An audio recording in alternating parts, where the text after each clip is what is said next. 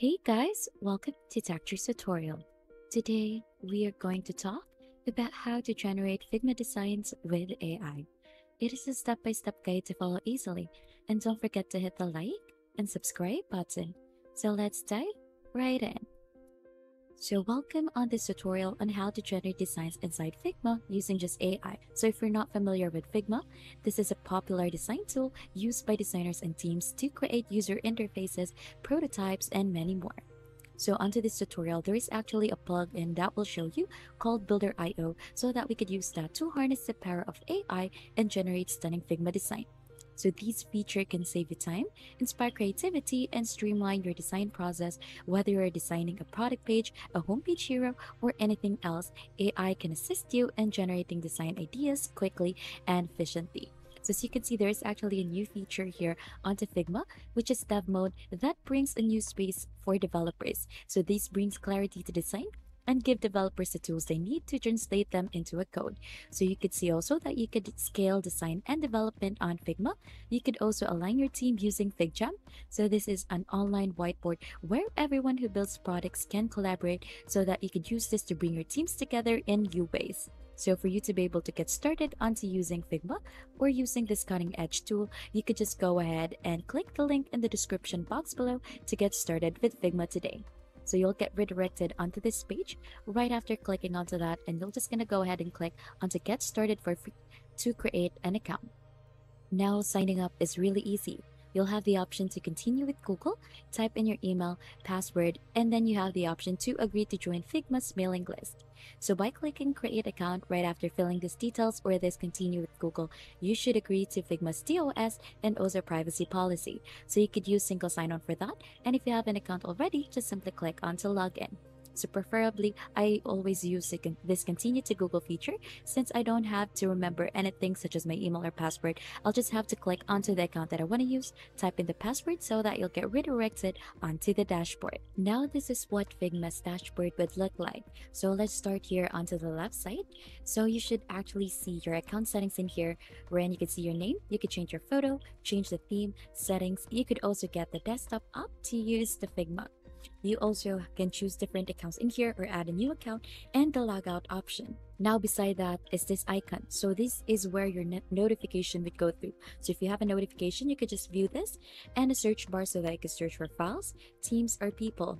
So here you should be able to see the recents here onto the middle if you click onto that and you'll also see your teams, drafts, and if you're running out of files in your free team, you could upgrade to different plans. So let's click onto that so that you could choose a plan that is right for you. So you could choose from monthly to yearly. And currently we're using the starter, which is free for trying things out. And we also have the professional, which is the most popular for you and your team with unlimited files and all the pro features.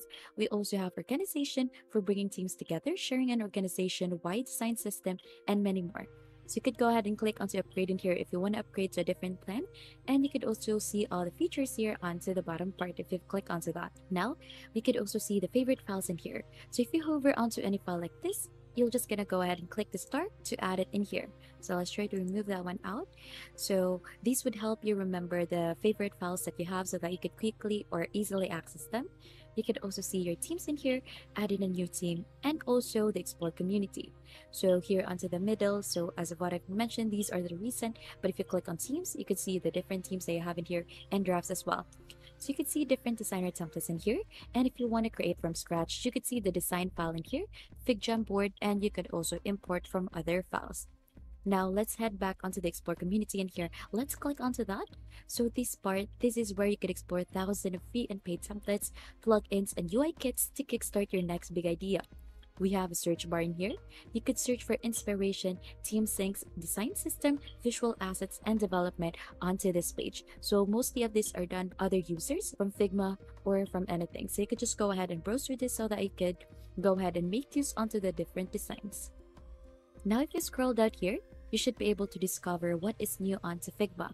So scrolling down further, you should be able to see the community or the different things that are done by community. So if you hover onto that, you should be able to see some of its details as well as its rating or a quick preview on how it would work. Now the reason why we're in here is because we're gonna go ahead and use a plugin onto creating our design. So we're gonna go ahead and utilize the search bar in here So we're gonna go ahead and quickly search in here builder.io. Then we're gonna go ahead and click onto enter. Then let's wait for it to load. Now you could see different options here. You should also see some filters as well in here. So we're currently trying to look for a plugin. Let's just click onto that. And this is the one that we're to use. So this first one is what we're going to use. So if you're not seeing this, actually, you could just try to filter or make use of the filters here onto the upper part so that you could go ahead and try to use this. So you could use for free all creators or many more in there and relevancy.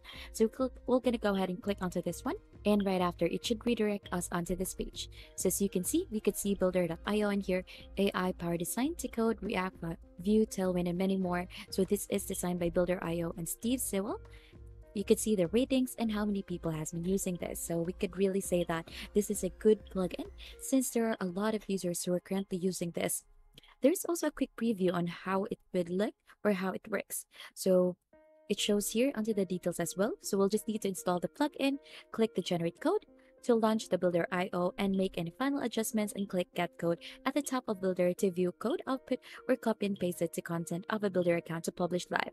So you could see that it can generate designs via AI, there is also some troubleshootings in here, limitations, and some of its extensions. You could also see the open source, which is available onto a link onto GitHub. Now to make use onto this plugin, you'll actually have the option to save this so that it would be easy for you to access this later on and we're gonna go ahead and try this one out. Just click on to try it out so that it will redirect us onto the editing page. Now it should redirect us onto this page. So as you can see, this plugin also runs in design mode. So you could toggle this switch in here between design mode and dev mode. So we're going to go ahead and just try this for design.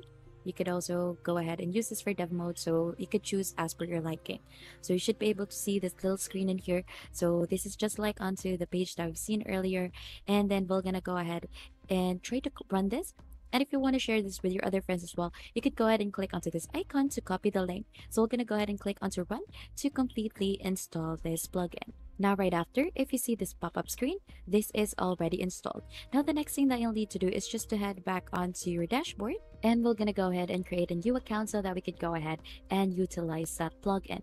So we're gonna go ahead and click onto design file in here and we're just gonna use the draft. But if you wanna go ahead and create or you have a team in here, just click onto that so wherever you like, you could do that. We're just gonna go ahead and click onto draft just for this example or tutorial. Now, once you have successfully opened a blank one, we're gonna go ahead and try to open the plugin again. So here, you should be able to see the main menu.